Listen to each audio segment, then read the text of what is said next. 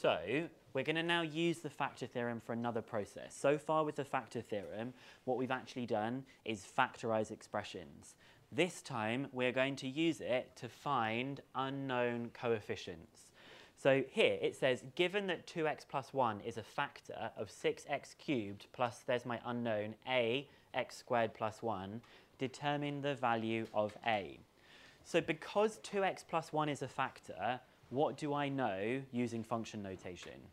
f of what?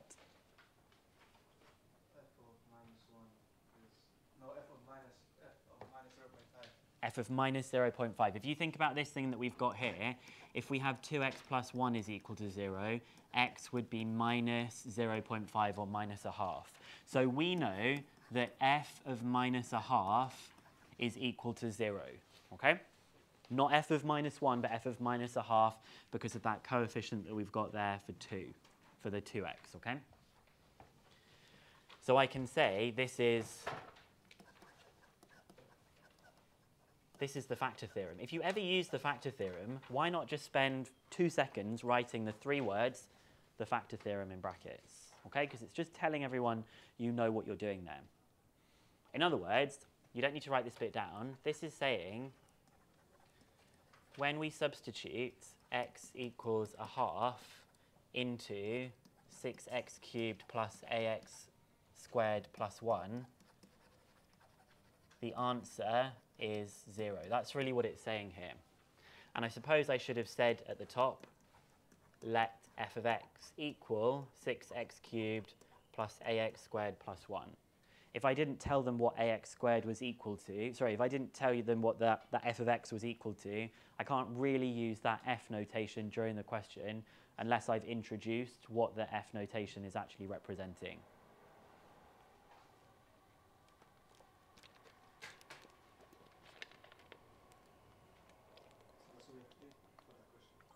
No, because we need to find out what a is. Ah. That's the instruction, so it just says if we sub x equals minus a half in, the answer is 0. So I'm going to do 6 multiplied by minus a half cubed plus a times minus a half squared plus 1 is equal to 0 because this is what f of minus a half is. f of minus a half is that bit of the expression. And what's minus a half cubed? 1. Minus an eighth. And minus an eighth times 6 is minus 6 eighths, which is how many, what can I simplify minus 6 eighths to? Minus 3 quarters. So I like to avoid it. I like avoiding calculators when I can, okay? So this first bit is minus 3 quarters. What's minus a half squared? A quarter. Oh, a quarter. It's a negative times a negative, a half times a half. So you get plus a quarter a plus 1 equals 0. I'm just going to move this up here so that we've got some space to write this all in. So simplifying these terms we've got here, we've got 1 minus 3 quarters. So that's a quarter A plus a quarter equals 0. A quarter A equals minus a quarter, and so A is equal to minus 1.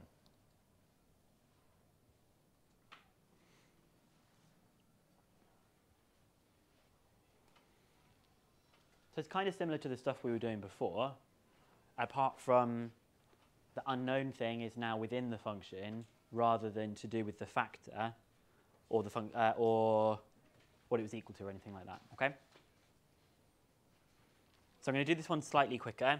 I'm going to start off by saying let f of x equal 3x cubed plus 11x squared plus ax plus 1. As 3x minus 1 is a factor, f of what is going to be equal to 0? f of a third equals a 0. And I'm going to write in brackets by the factor theorem.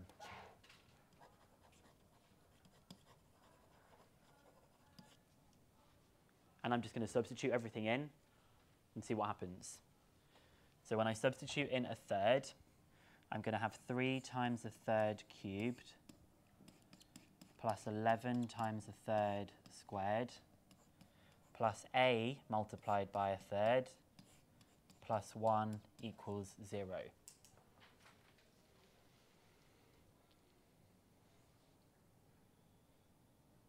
And I think we could do most of this without a calculator. What's um, 3 times a third cubed? That's 1 27th is a third cubed, so times that by 3? 1 ninth, okay? I personally don't even do the full cubing here. I actually just, I know that the 3 is going to cancel out with one of them, so it's just a third squared, so it's just a ninth. So that's just a ninth. 11 times a third squared is, what's a third squared? A ninth times that by 11? 11 ninths. So you have plus 11 ninths. Then here we've got a third A plus 1 equals 0. So we've now got 12 ninths plus 1,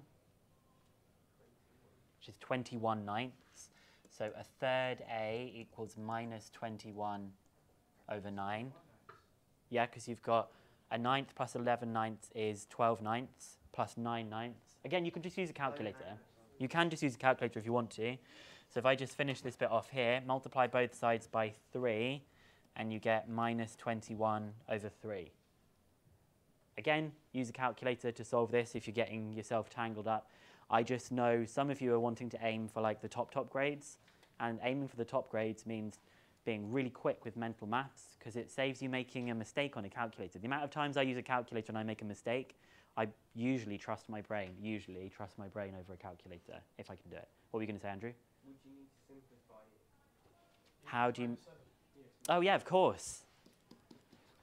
Goodness me. Just as I was saying, I trust my brain over a calculator. I knew that was going to happen. Minus 21 over 3 is obviously minus 7.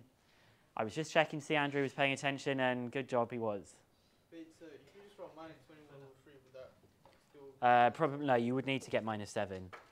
So maybe that maybe I'm wrong. Maybe you should use a calculator for all this. I trust computer over myself. Yes. Okay. Good. Maybe I should trust a computer over myself as well.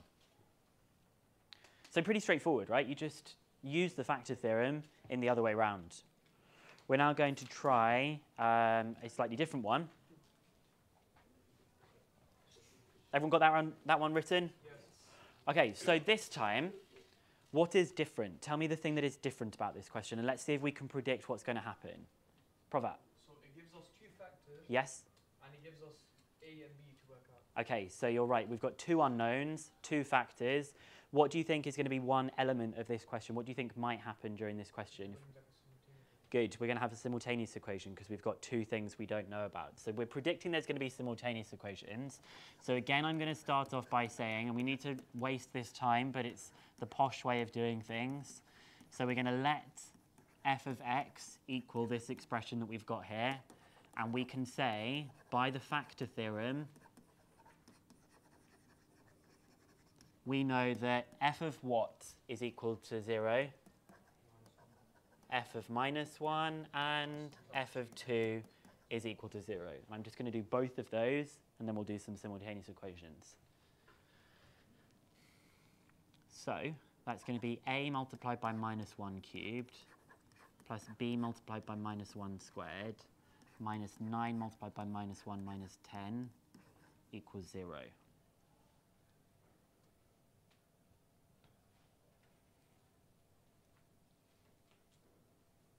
And we'll just go through and simplify everything that we've got here.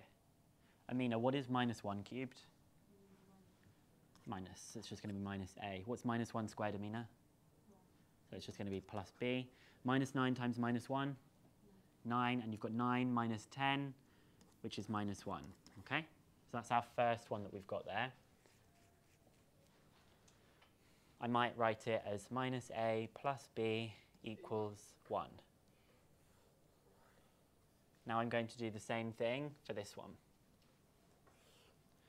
So I now know that f of 2 is equal to 0. In other words, a multiplied by 2 cubed plus b multiplied by 2 squared minus 9 multiplied by 2 minus 10 is equal to 0.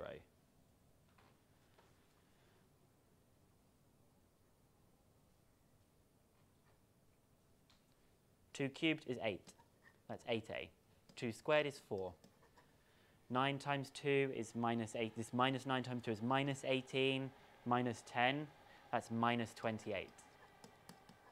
In other words, 8a plus 4b is equal to 28. And then we'll do simultaneous equations with these.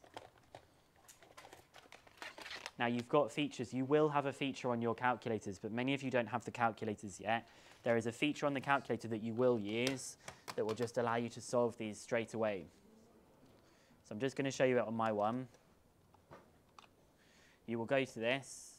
You'll have something similar like this on your calculator. You'll go to the polynomial, not polynomial, simultaneous. There are two unknowns. And I think our value of in the first one was minus a plus b was equal to 1. Is that right? Yep. And on the second one, it is 8a plus 4b equals 28. So that's 8a plus 4b is equal to 28. You're allowed to do this in the exam. You then just press solve and it immediately tells you, it says x and y, but we know that the x and y is corresponding to a and b. That means a is equal to 2 and b is equal to 3. And you can just go straight away and just say a equals 2, b equals 3. Done. If they said show using algebra, then you should show the process. But I've read something in the examiner's reports recently, and they've said if a student can do it on a calculator and it doesn't say using algebra, we should expect them to do it on a calculator. So if you ever come across linear simultaneous equations and it doesn't say using algebra, you should get into the habit of putting them on your calculator and having them solved really quickly, which is why we need to make sure you've all got those calculators so you can start practicing using it. I need to talk and find out from Miss Chalmers, okay? So that's why I haven't spent a lot of the page here finding out what A and, um, the A and B are. I've just gone straight in with the simultaneous equation solver, and I know that I've got those right. I probably would check to see that they made sense in case I typed something in wrong. You can see that minus 2 plus 3 is 1, so that one works. And also, 8 times 2 is 16, plus 4 times 3, which is 12. 16 plus 12 is 28. So we found the values of A and B. So Provat predicted it was going to be simultaneous equations, and it was simultaneous equations. Then what we're going to do after this is we will have a look at doing some exam questions, okay? So I think what we'll do now is we're going to try some questions from exercise 7C. We're going to go from question 7 onwards here, which is going to have some of that practice. And then perhaps for the last part of the lesson, we'll come back and do some of those examined questions in some timed conditions, okay?